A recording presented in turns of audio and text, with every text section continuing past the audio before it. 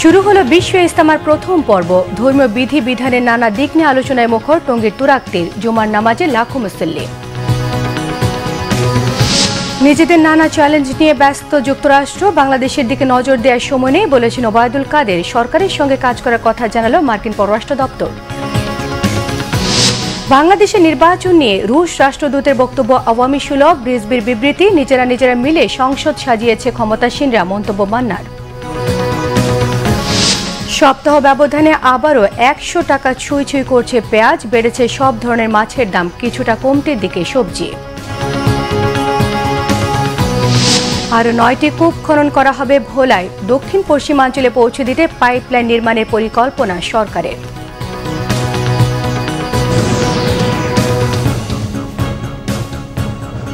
দেখছিলেন বিআরবি কেবল সংবাদ শিরোনাম।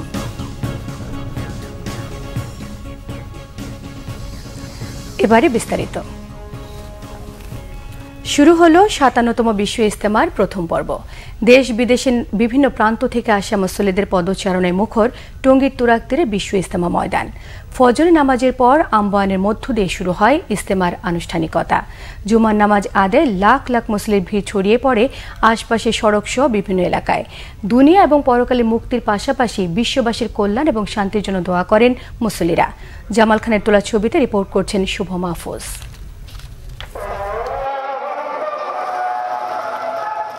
সিজদায় মস্তক অবনত করে মহান আল্লাহর কাছে নিজেকে সমর্পণ, ক্ষমা আর অনুগ্রহের আশায় নিজেকে সঁপে দিয়েছেন মহান মনিবের কাছে।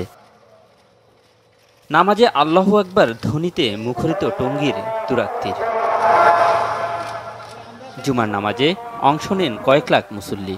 একশো ষাট একরের ইস্তেমার মূল ময়দানে জায়গা না পেয়ে আশপাশের বিভিন্ন অলিগলি, ফুটপাত, সড়ক ও আশপাশের এলাকায় যে যেভাবে পেরেছেন দাঁড়িয়ে গেছেন নামাজে। আল্লাহর সন্তুষ্টির পাশাপাশি বিশ্ব শান্তির জন্য দোয়া করেন সবাই। সারা দুনিয়ার মানুষ কীভাবে নাজাত পায়, আল্লাহর হুকুম মান্যওয়ালা হয়ে যায়। সারা উম্মতের মাঘ ফেরতের জন্যই দোয়া করার জন্য। দিনের মেহনত চলতেছেন যে মেহনত সমতে বলতেছেন কুন্তুম খাইরা উম্মাতের উখরি জাতলি নাস তা মুরুনাবিল মারুফ নাহাউনানি মুখার তোমরাই শ্রেষ্ঠ জাতি তোমরাই শ্রেষ্ঠ উম্মত তোমাদের কাজ হলো সৎ কাজের আদেশ করা অসৎ কাজের নিষেধ করা। তো দাওয়াতে তাবলিগ বা যে দিনই মেহনত এই কাজটাই করতেছেন। খুব ভালো লাগছে অনেক মুসল্লি সমায়েত হয়েছে এক জায়গায়। বড় জামাতে জুমার নামাজ আদায় করতে আশপাশের এলাকা থেকেও আসেন মুসল্লিরা। প্যান্ডেলে জায়গা পাইনি এখন বাইরে মসজিদে অবস্থান করতেছে। বিভিন্ন দেশ থেকে লোকজন আইছে সবার সঙ্গে নামাজ পড়ব কারও দোয়া আল্লাহ কবুল করবে এই হিসাবে আমি আছি তাদের সাথে হাত উঠাবো। সবার সাথে নমাজ করে সবার দল হইলাম এটি বড় কথা। আল্লাহ এবং আল্লাহ রসুলের কথা এবং ইমান শিক্ষা করার জন্য আসছি এবং আমরা নিজেরা সংশোধন হওয়ার জন্য আসছি।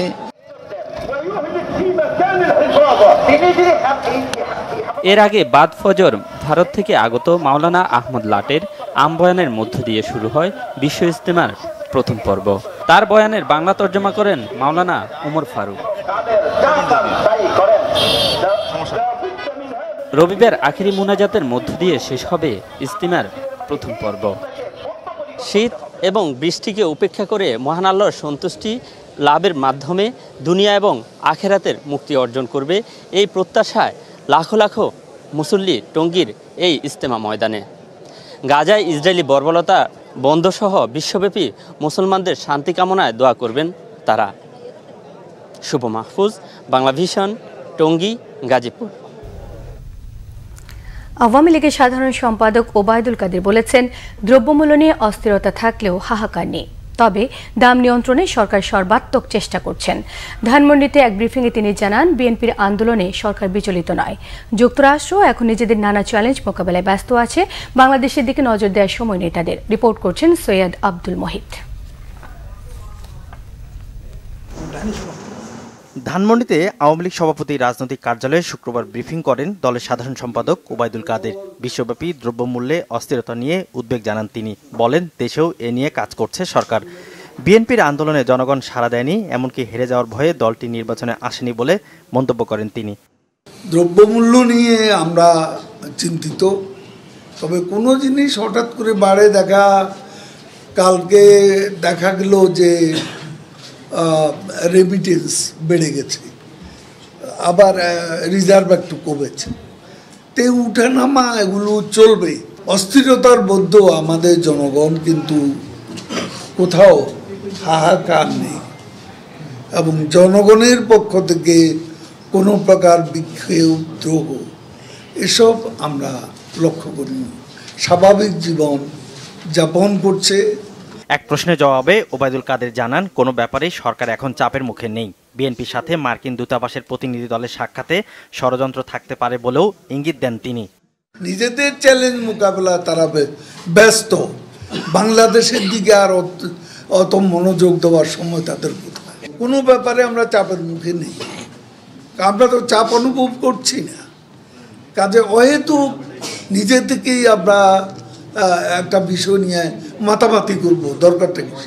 আওয়ামী লীগ সাধারণ সম্পাদক বলেন নির্বাচন কমিশন শক্তিশালী উপজেলা নির্বাচনে কোনো প্রার্থীর পক্ষে দল থেকে সমর্থন দেওয়া হবে না বলে সাব জানিয়ে দেন ওবায়দুল কাদের।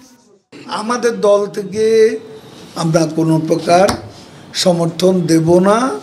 জনগণ যাকে পছন্দ তাকে নির্বাচিত করবে। সৈয়দ আব্দুল মুহিত বাংলা ভিশন ঢাকা। বাংলাদেশের সদ্য সমাপ্ত নির্বাচন নিয়ে উদ্বেগ জানালেও সুষ্ঠু গণতান্ত্রিক চর্চা এবং নির্বাচনের মানদণ্ড নিশ্চিতে সরকারের সঙ্গে যুক্তরাষ্ট্রে কাজ করার বার্তা দিয়েছে মার্কিন পররাষ্ট্র দপ্তর। নিয়মিত ব্রিফিংয়ে বৃহস্পতিবার এই বার্তা দেন মার্কিন পররাষ্ট্র দপ্তরের মুখপাত্র ম্যাথিউ মিলার।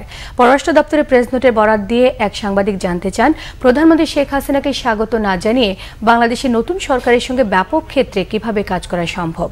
এমন প্রশ্নের জবাবে তিনি জানান, নির্বাচন নিয়ে যুক্তরাষ্ট্রের উদ্বেগ প্রকাশের অর্থ এই নয়, বাংলাদেশের সরকারের সঙ্গে কাজ করার ক্ষেত্রে যুক্তরাষ্ট্রের দায়বদ্ধতা নেই। তবে বাংলাদেশের নির্বাচন এবং সরকার বিরোধীদের ধরপাকড়ের বিষয়ে যুক্তরাষ্ট্রের উদ্বেগের কথাও জানান তিনি।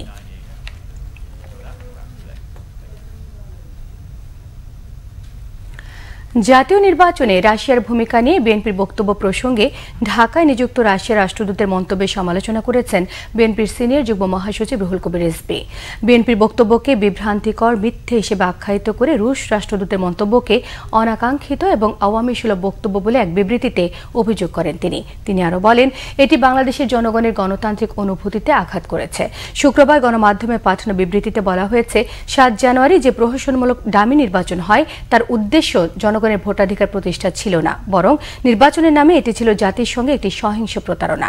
দেশের মানুষের প্রত্যাশার বিরুদ্ধে গিয়ে রাশিয়া, ভারত, চীন বা অন্য কোনো রাষ্ট্র সরকারের গণবিরোধী অপশাসনকে সমর্থন করবে না বলে আশা ব্যক্ত করেন বিএনপির এই নেতা।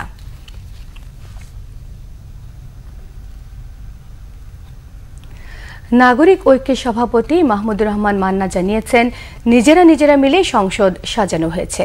এসব করে সংসদের কফিনে শেষ পেরেক মেরেছে ক্ষমতাসীনরা। জাতীয় প্রেস ক্লাবের সামনে এক অবস্থান কর্মসূচিতে তিনি এসব কথা বলেন, তিনি অভিযোগ করেন, সাত জানুয়ারি ভোট গণতান্ত্রিক বিশ্বের কেউ সমর্থন দেয়নি। বড় বড় কথা বলে ক্ষমতায় থাকা যাবে না মন্তব্য করে তিনি বলেন, ভয় পাই বলে মিছিলের মতো কর্মসূচিতেও বাধা দিচ্ছে সরকার। নিত্য পণ্যের দাম নিয়ন্ত্রণ আনতে বাণিজ্য প্রতিমন্ত্রী এক সপ্তাহের মধ্যে সিন্ডিকেট ভেঙে দেওয়ার কথা বললেও কাজের কাজ কিছুই হয়নি। বাধা দিয়ে আন্দোলন দমানো যাবে না উল্লেখ করে তিনি বলেন, সরকারকে যেতেই হবে বলে।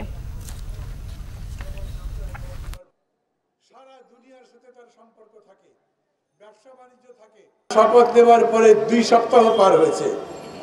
সিন্ডিকেট বন্ধ হয়েছে। সিন্ডিকেট ভেঙেছে। জিনিসের দাম কমেছে। কমে নাই। সংসদ থাকবে সরকারি দল বিরোধী দল। এইখানে বিরোধী দল নেই। বিরোধী দল একজনকে বানিয়েছে তার নেতা। উনি গতকালকে বলেছেন এই সংসদ কোনো কাজ করতে পারবে আমার তা মনে হয় না। এটাই হলো সত্যি। এই সংসদের কফিনে পেরেক মেরে দিয়েছে শেখ হাসিনা। জনগণের গণতন্ত্রের সমস্ত কিছু নস্বাত করে দিয়েছে। আমাদের যে যাত্রা শুরু হয়েছে, সেই যাত্রা থামবে না। যতক্ষণ পর্যন্ত না এই সরকারকে গদি থেকে নামাতে পারবে। সরকার উৎখাতে বিএনপি ষড়যন্ত্র, চক্রান্ত এখনও শেষ হয়নি, এমন মন্তব্য করেছেন জাসদ সভাপতি হাসানুল হক ইনু। সকালে বঙ্গবন্ধু অ্যাভিনিউতে জাতীয় যুব জোটের নির্বাহী কমিটির সভায় মন্তব্য করেন তিনি। তিনি আরও বলেন, সমালোচনার মধ্যেও সরকার নির্বাচনের মধ্য দিয়ে সাংবিধানিক ধারা সমুন্নত রাখতে সক্ষম হয়েছে। এর ফলে সরকার উৎখাতের চক্রান্ত মুখ থুবড়ে পড়েছে। এখন সরকারের সামনে বড় চ্যালেঞ্জ, দ্রব্যমূল্য নিয়ন্ত্রণ করা। ভোটের আগে এবং পরে নিত্যপণ্যের দামের অস্থিরতা এখনও দূর হয়নি। এ পরিস্থিতিতে মূল্যস্ফীতি হ্রাস টেনে ধরা এবং ভর্তুকি মূল্যে জিনিসপত্র সরবরাহ করাই রাজনৈতিক অর্থনীতির মূল কাজ বলে মন্তব্য করেছেন তিনি।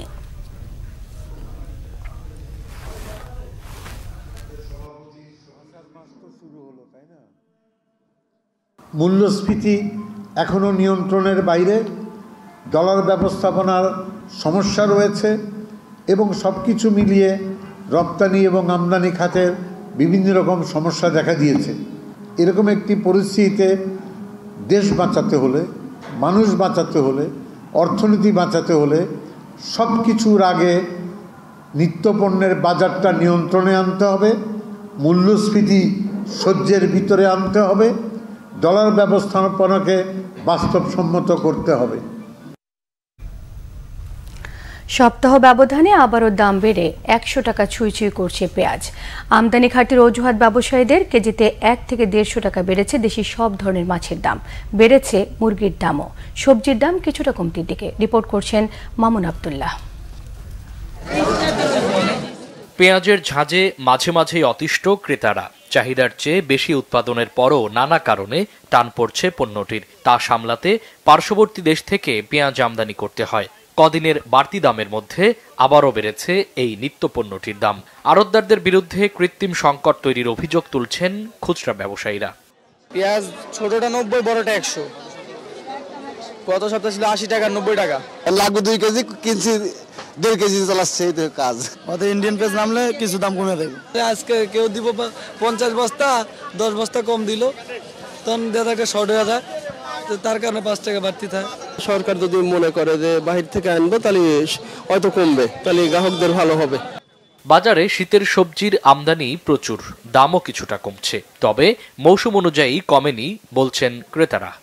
মানুষ যে এখানে আগে এক কেজি মাংস কিনতো সেখানে আধা কেজি কিনতেছে। আমরা আধা কেজি জিরা কিনলে এখন দুশো গ্রাম কিনতেছি। ফুলকপি ছিল পঞ্চাশ তিরিশ চল্লিশ আজকে বিশ টাকা পঁচিশ টাকা। এক কেজি আলুর দাম যদি চল্লিশ টাকা হয় তাহলে সিজন ছাড়া অন্য সময় একশো টাকা কেজি ঘাটে হবে। ফিরে ছিল ষাট টাকা আর এখন বেচতেছি মাত্র পঞ্চাশ টাকা কেজি। সব মানে দশ টাকা বিশ টাকা কম আজকে এই বাজারে আজকে। অস্বস্তি লেগেই আছে মাছের দামে। দেশি মাছের সরবরাহ কমের অজুহাত বিক্রেতাদের। মাছ বলেন অন্যান্য আপনার আপনার কাঁচা সবজি বলেন সবই দাম বেশি। এখন মাছের দাম অনেক বেশি। হ্যাঁ ছোট বড় সব মাছের দামই এখন অনেক বেশি যাচ্ছে। যেমন আগে চাইলেই মাছ কিনতে মাসে একবার মাছের বাজারে আসি। সব মিলে মানে কষ্টেই যাচ্ছে আর কি বলা চলে। দেশি কই মাছ? এটা কেজি একশো থেকে দেড়শো টাকা বাড়ছে। আর চাষেরগুলো নিয়ন্ত্রণে আছে। কেজিতে দশ টাকা বেড়ে ব্রয়লার একশো নব্বই টাকা এবং সোনালী মুরগি বিক্রি হচ্ছে দুইশো নব্বই টাকায়। মামুন আবদুল্লাহ, বাংলা ভিশন, ঢাকা। দ্বীপ জেলা ভোলার গ্যাসকে অভ্যন্তরীণ অর্থনীতিতে যুক্ত করতে চায় সরকার। একই সঙ্গে ভোলায় আরও গ্যাস থাকার সম্ভাবনায় আরও অনুসন্ধানের পরিকল্পনাও রয়েছে। বিদ্যুৎ ও জ্বালানি প্রতিমন্ত্রী জানান, নতুন করে আরও নয়টি কূপ খনন করা হবে। এছাড়া ভোলার গ্যাসকে দক্ষিণ পশ্চিমাঞ্চলে পৌঁছে দিতে পাইপলাইন নির্মাণের পরিকল্পনা রয়েছে সরকারের। মোহাম্মদ মনিরুজ্জামানের তোলা ছবিতে আরও জানাচ্ছেন রিশান নাসরুল্লাহ। প্রাকৃতিক গ্যাসের নতুন আধার হিসেবে বিবেচনা করা হয় দক্ষিণের দ্বীপ জেলা ভোলাকে। প্রাথমিক হিসেবে সেখানকার তিনটি গ্যাস ক্ষেত্রে মজুদ রয়েছে এক দশমিক সাত ট্রিলিয়ন ঘনফুট গ্যাস। খননকৃত নয়টি কূপে গ্যাস উৎপাদনের সক্ষমতা একশো পাঁচ মিলিয়ন ঘনফুট। গ্যাস অনুসন্ধান তথ্য ও বিশেষজ্ঞদের মত বলছে, ভোলা ও তার আশপাশের বিভিন্ন জোনে গ্যাস পাবার ব্যাপক সম্ভাবনা রয়েছে। যেটা করা উচিত সেটা হচ্ছে ভোলা এবং তার আশেপাশের অন্যান্য স্ট্রাকচারগুলা থ্রি করে, শনাক্ত করে সেখানেও ড্রিল করলে আমাদের বিশ্বাস যে ভোলা অঞ্চলে আর একটা সিলেট অঞ্চলের মতো গ্যাসের সেন্টার হতে পারে, গ্যাস রিচ প্রভিন্স হতে পারে। এই যদি আরও এই পরিসরটা বাড়ানো যায়, যদি দেখা যায় যায় এই অঞ্চলটা গ্যাসে অনেক সমৃদ্ধ, যদি তাই হয় তখন পাইপলাইনটা কোনো ফ্যাক্টর না। পাইপলাইন একটা তৈরি করে আপনি এই সমস্ত গ্যাস নিয়ে যেতে পারেন। ভোলায় গ্যাস মজুদ থাকার যে সম্ভাবনার কথা বলা হচ্ছে, সেটি অনুসন্ধানে নতুন করে পরিকল্পনা করেছে সরকার। অনুসন্ধান সীমানা বাড়ানোর পাশাপাশি বিদ্যমান গ্যাস ক্ষেত্রে আরও নয়টি কূপ খননের কথা জানান বিদ্যুৎ ও জ্বালানির প্রতিমন্ত্রী। পরিকল্পনা আছে, সেটা হলো আরও নয়টি কূপ খনন করা। এবং পরবর্তীকালে আমাদের আরও টু ডি এবং থ্রি ডি করতে বলেছি ভোলার আশেপাশে নদী এলাকায়। এবং আমরা সেভাবেও প্রস্তুতি নিচ্ছি। কেবল ভোলার অনশোরে না, ভোলার অফশোরে যে জায়গাগুলো আছে সেখানেও আমরা করব। আমাদের ইচ্ছা প্রায় আঠারোটি কূপ খনন করা। এই অল্প সময়ের মধ্যে যত দ্রুত আমরা পারা যায়। কোনো সরবরাহ লাইন না থাকায় আপাতত সংকট নিরসনে ভূমিকা রাখতে পারছে না ভোলার গ্যাস। তবে গ্যাসের সম্ভাব্যতা বিবেচনা করে শিগগিরই পাইপলাইন নির্মাণ করা হবে। আমাদের যে ভোলার পাইপলাইন ইতিমধ্যে একটা ফিজিবিলিটি স্টাডি পেয়েছি আমরা। আমরা রুটও পেয়ে গেছি। আমরা আরেকটা রুট নিয়ে এখন কাজ করছি। সেই রুটটা সম্পূর্ণ হলে পরে আড়াই থেকে তিন বছরের মতো লাগবে সময়। অর্থনীতির হিসাবে এলএনজি আমদানির খরচের তুলনায় ভোলায় যে গ্যাস মজুদ রয়েছে, তার মূল্য প্রায় পঁচাত্তর হাজার পাঁচশো চুয়াল্লিশ কোটি টাকা। দ্বীপ জেলা ভোলায় প্রথমবার গ্যাসের সন্ধান পাওয়া যায় উনিশশো চুরানব্বই সালে। এরপর দু হাজার সতেরো এবং দু হাজার তেইশেও পাওয়া যায় গ্যাসের সন্ধান। কিন্তু সবচেয়ে বড় চ্যালেঞ্জ হলো ভোলা থেকে গ্যাস জাতীয় গ্রিডে যুক্ত করা। বর্তমান সরকার নদীর তলদেশ দিয়ে পাইপলাইন নির্মাণের মাধ্যমে ভোলা থেকে জাতীয় গ্রিডে গ্যাস যুক্ত করতে চায়। সরকারের এই প্রকল্পটি সফল হলে অভ্যন্তরীণ অর্থনীতিতে ভোলার গ্যাস ভূমিকা রাখতে পারবে। রিশান নাসরুল্লাহ, বাংলা ভিশন, শাহবাজপুর গ্যাস ক্ষেত্র, ভোলা। ছুটির দিনে সকাল থেকে শিশুদের পদচারণায় মুখর বইমেলা এবারের মেলার প্রথম শিশু প্রহরে সকাল থেকেই ঢল নামে কোমলমতিদের। আনন্দ বিনোদনের মধ্য দিয়ে বিভিন্ন বইয়ের সঙ্গে পরিচয় ঘটে তাদের। বিকেলে পুরো মেলা পরিণত হয় বই প্রেমীদের মিলন মেলায় রিপোর্ট করছেন মাইনুল শোভন।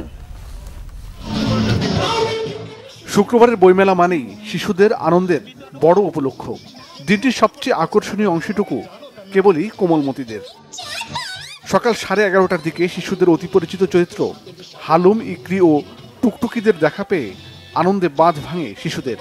মেলার প্রথম শুক্রবারেই শিশু প্রহরে সিসিমপুরের মঞ্চ ঘিরে ঢল নামে তাদের। শিশুদের মোবাইল ডিভাইস থেকে দূরে রাখতে শিশু প্রহরের এসব আয়োজন বড় ভূমিকা রাখবে বলে মনে করেন অভিভাবকরা।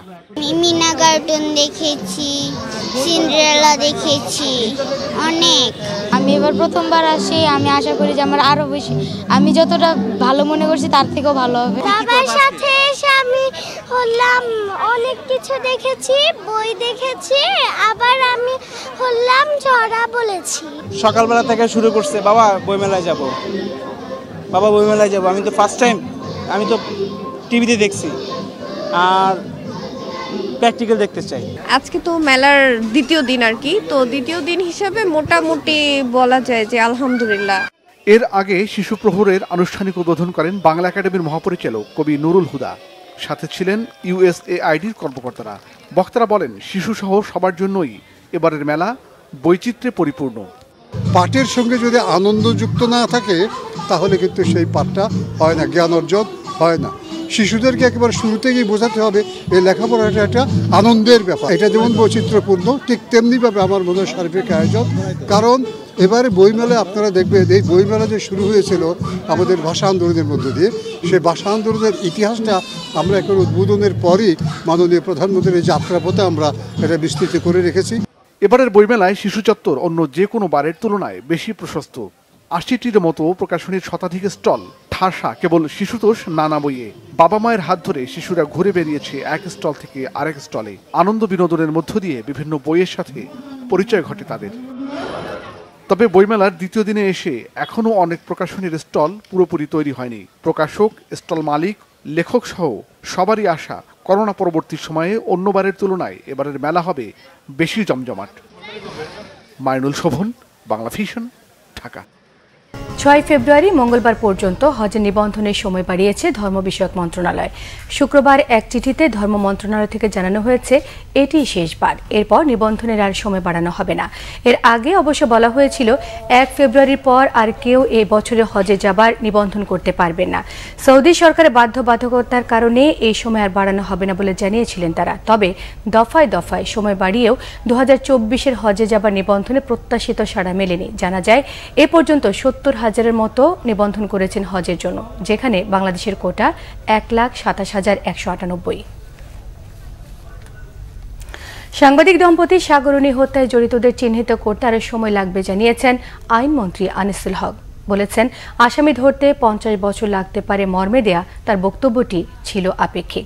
শুক্রবার সকালে দুদিনের সফরে ব্রাহ্মণবাড়িয়ার কসবা এবং আখাউড়ায় গেলে সাংবাদিকদের প্রশ্নের জবাবে আইনমন্ত্রী এসব কথা বলেন। এ সময় তিনি আরও জানান, হত্যার বিয়াল্লিশ বছরে আসামি ধরা, চব্বিশ বছরের রহস্য উন্মোচনের নজির রয়েছে, তাই সময়টা আপেক্ষিক অর্থে ধরেছেন তিনি। বিতর্কের বিষয় হওয়া উচিত নয় মন্তব্য করে আনিসুল হক জানান, অপরাধী যেই হোক তাদের আইনের আওতায় আনা হবে।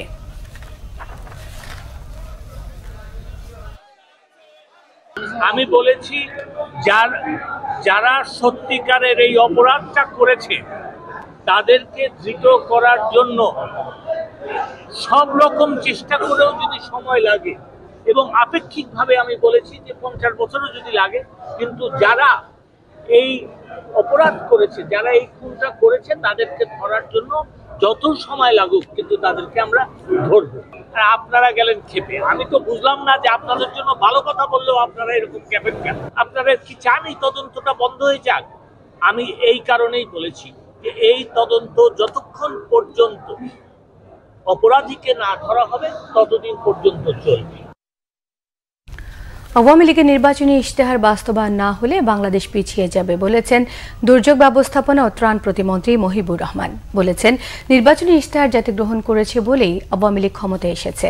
সকালে রাজধানী শাহবাগে জাতীয় জাদুঘরের সামনে দুস্থদের মধ্যে শীত বস্ত্র বিতরণ অনুষ্ঠানে এসব কথা বলেন প্রতিমন্ত্রী মহিবুর রহমান।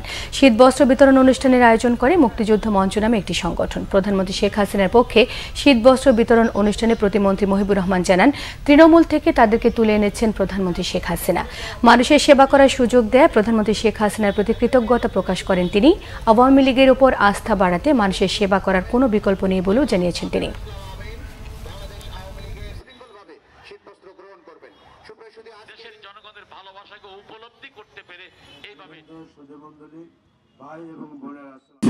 গত নির্বাচনে বাঙালি জাতি সেটা গ্রহণ করেছে বলে আওয়ামী লীগকে আবার ভোট দিয়ে ক্ষমতা এনেছে। এই ইশতেহার আজকে শুধু আওয়ামী লীগের সম্পত্তি নয় এই ইশতেহার আজ বাংলাদেশের সম্পত্তি। আগামী বাংলাদেশ সরকারের আগামী যে পাঁচ বছর ক্ষমতা থাকবে, সেটা বাস্তবায়নের আমাদের একটা অঙ্গীকারের প্রতিশ্রুতির অংশ।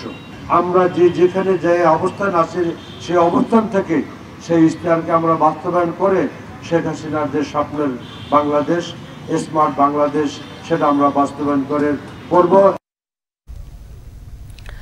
মিয়ানমার সীমান্তে উত্তেজনার জেরে নাফ নদীতে বন্ধ হয়ে গেছে মাছ শিকার। চরম কষ্টে পড়েছে কয়েক হাজার জেলে। নদীপথে রোহিঙ্গা অনুপ্রবেশ ঠেকাতে এবং অপ্রীতিকর ঘটনা এড়াতে বিজিবির পাশাপাশি নজরদারি জোরদার করেছে কোস্টগার্ড কক্সবাজার থেকে মুর্শিদুর রহমান খোকনের তথ্য ছবিতে থাকছে ডেস্ক রিপোর্ট মিয়ানমারে আরাকান স্বাধীনতাকামী সংগঠনগুলোর সাথে দেশটির নিরাপত্তা বাহিনীর সংঘাত চলছেই। বান্দরবানের ঘুমধুম ও তুমরু থেকে শুরু করে কক্সবাজারের টেকনাফ, সেন্ট মার্টিন সীমান্ত পর্যন্ত ওপারে সংঘাতের আঁচ পৌঁছেছে। উদ্বেগ, উৎকণ্ঠা আর আতঙ্কে স্থানীয়রা।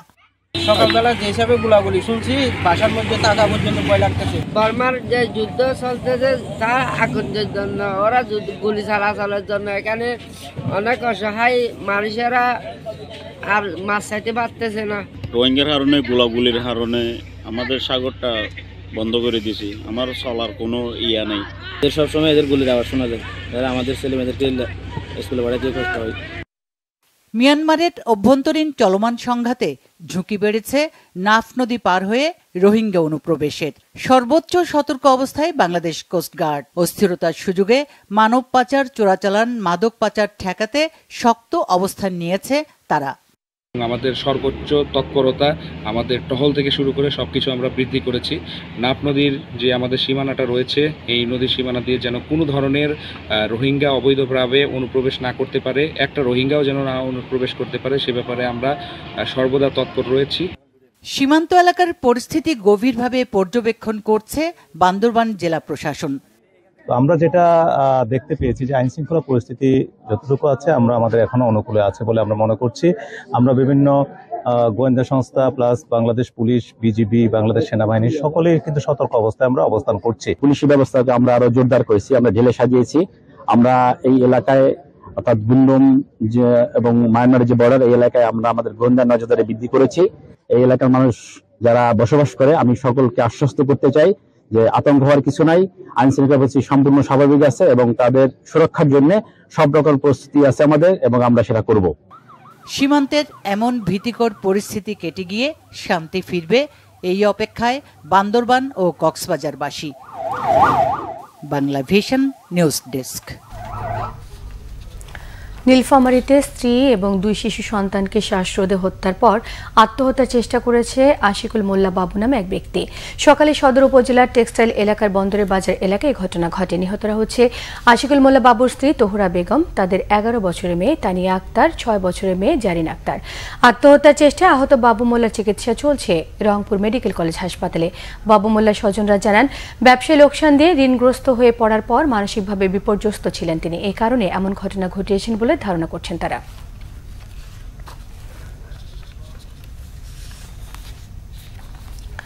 হিম বাতাস আর ঘন কুয়াশায় জয়পুরহাটে কমেছে আলু, বেগুন, শিম, ফুলকপি, বাঁধাকপি সহ বিভিন্ন সবজির উৎপাদন।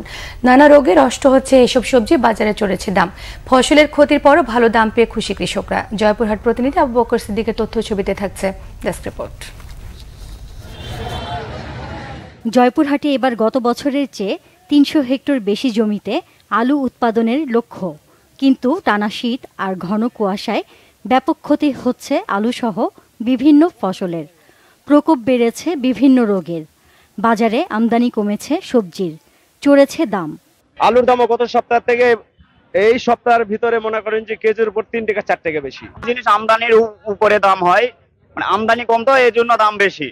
শীতে সবজি রক্ষায় কৃষি বিভাগের কোনো সহযোগিতা না পাওয়ার অভিযোগ কৃষকদের। এবছর আলুর দাম একটু বেশি পাইছিলাম কিন্তু বর্তমানে বীজের খারাপের জন্য কিছু ওষুধ আলু নষ্ট হয়ে গেছে। সম্পূর্ণ ফুল জোরে পড়ে যাচ্ছে। কোনো কীটনাশকে কোনো কাজ করতেছে না। আবহাওয়া খারাপের জন্য ফসল কম হচ্ছে। বিঘা হারি দেখা যাচ্ছে স্টিক আলু আমরা একশো মন আশি মন আলু সচলাচল পাই। সেখানে আলু পাচ্ছি চল্লিশ মন পঁয়তাল্লিশ মন। অভিযোগ অস্বীকার করে কৃষি কর্মকর্তাদের দাবি আলুসহ সবজির বিষয়ে নানা পরামর্শ দিচ্ছেন তারা। অ্যাজোক্সিস্টোবিন ও ডাইক্লোফেনাজল জাতীয় ওষুধ দুই মিলি পার লিটার হারে অথবা ম্যানকোজে প্লাস সাইমোক্সিলিন জাতীয় ওষুধ দুই গ্রাম পার লিটার হারে দুপুরের পর জমিতে স্প্রে করার জন্য পরামর্শ দিচ্ছি এবং আমরা কৃষকদেরকে পরামর্শ দিচ্ছি যাতে করে গাছটাতে এমন ভাবে স্প্রে করা হয় যে সম্পূর্ণ গাছটা ভিজে যায় এবং পাতার নিচ দিক থেকে সম্ভব হলে স্প্রেটা যাতে করা হয়। যাতে করে এই ওষুধগুলো খুব ভালো কাজ করতে পারবে। জয়পুরহাটে এবার আলু আবাদের লক্ষ্যমাত্রা আটত্রিশ হাজার আটশো পনেরো হেক্টরে। তবে শীত ও কুয়াশায় উৎপাদন লক্ষ্যমাত্রা অর্জন নিয়ে রয়েছে শঙ্কা। Bangla vision news desk. রাজধানীর মিরপুর এগারো এর প্যারিস খালকে দখলমুক্ত করতে অভিযান শুরু করেছে ঢাকা উত্তর সিটি কর্পোরেশন। খালের মধ্যে চার পাঁচ তলা বিল্ডিং পড়লেও তা ভেঙে ফেলা হবে বলে জানিয়েছেন উত্তরের মেয়র আতিকুল ইসলাম। বিকল্প ব্যবস্থার আগে উচ্ছেদ না করার দাবি করলেও সিটি কর্পোরেশন জানিয়েছে যথেষ্ট সময় দিয়ে অভিযান পরিচালিত হচ্ছে। রিপোর্ট করছেন আসমা আক্তার নূপুর, ক্যামেরায় ছিলেন ইসমাইল হোসেন পলাশ।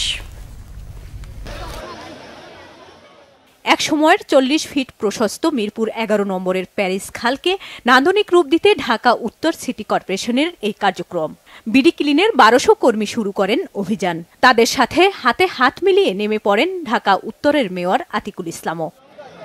বিডি ক্লিনের কর্মী জানালেন, খালটি যথেষ্ট গভীর। এতে মাছ থাকার কথাও জানালেন তারা। আমরা কিছু ময়লা উপর থেকে নেওয়ার পরে নিচের গভীরতা অনেকে এতটুকু পর্যন্ত মানে গলা পর্যন্ত গভীরতা আছে এবং একটু আগে আমি দেখলাম যে আমরা নাম নামতে গিয়ে কাজ করতে গিয়ে ওখানে মাছ পাওয়া যাচ্ছে। অবৈধ দখলদারিতে কোথাও বাইশ ফিট আঠারো ফিট আবার কোথাও এগারো ফিট। খালটিকে চল্লিশ ফিট প্রশস্ত করতে ভাঙা পড়ছে খালের পাশে গড়ে ওঠা অবৈধ ঘরবাড়ি। বাড়ি ঘরও নাই দেশও জায়গা নাই এনো নাই। আস্তাই শেষ ডুবাইছিলাম বসতে মধ্যে আবার শেষ। আমাকে নাই কিছু কিছু যদি আমার একটু সাহায্য দিতে দাও আমরা একটু চলতে হইতে পারতাম। ড্রেন ছিল মনে করেন তিন চার ফিট এই ড্রেনের ছত্রিশ বত্রিশ কত কত চল্লিশ ষাট করে নিতে আছে আমার ঘরে ভাঙ্গা উচ্ছেদ করে। অন্য জায়গায় যাইতে হবে না থাকার থাকলে তো যাইতেই হবে অন্য জায়গায়। উচ্ছেদের আগে বিকল্প ব্যবস্থা করে দেওয়ার দাবি করেছিলেন অনেকে। তবে মেয়র বললেন যথেষ্ট সময় দিয়েই এ অভিযান। তারা নিজেদের মতো করে ব্যবস্থা করে নেবে।